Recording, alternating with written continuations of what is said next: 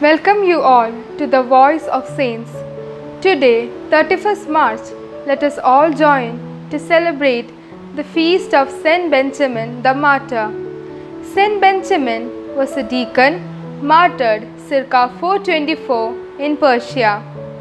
Saint Benjamin was executed during a period of persecution of Christians that lasted 40 years and through the reign of two Persian kings. The story and history of Saint Benjamin.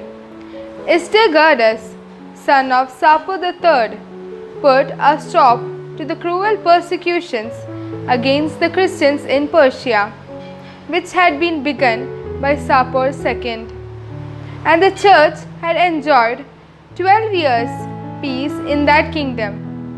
When in 420 it was disturbed by the indiscreet zeal of Abdas, a Christian bishop who burned down the Pyraeum, or the temple of fire, the great divinity of the Persians.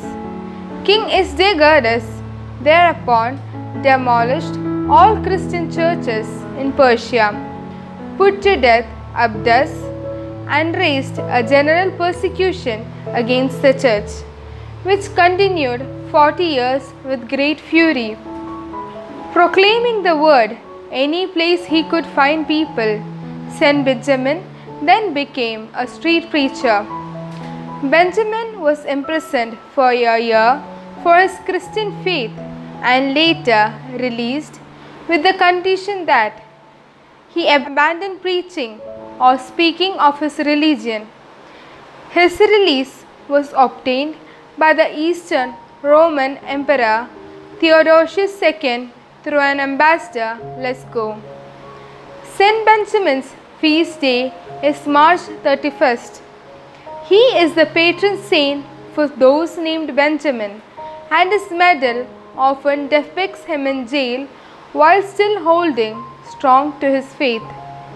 According to his hagiography, when the king was apprised that Benjamin refused to stop preaching, he caused reeds to be run in between the nails and flesh, both of his hands and feet, and to be thrust into the other most tender parts, and drawn out again, and this to be frequently repeated with violence.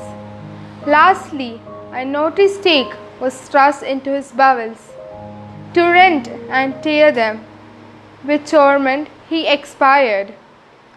Benjamin's feast day is celebrated on October 13 in the Eastern Orthodox Church and the Byzantine Rite Eastern Catholic Churches. Saint Benjamin's feast day is celebrated on March 31st by the Roman Catholic Church.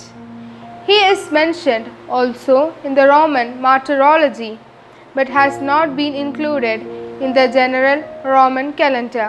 Reflection We entreat you, O most holy martyr, who cheerfully suffered most cruel torments for God our Saviour and His love, on which account you are now most intimately and familiarly united to Him, that you pray to the Lord for us miserable sinners, covered with filth, that He infuse into us the grace of Christ, that it may enlighten our souls and that we may love Him.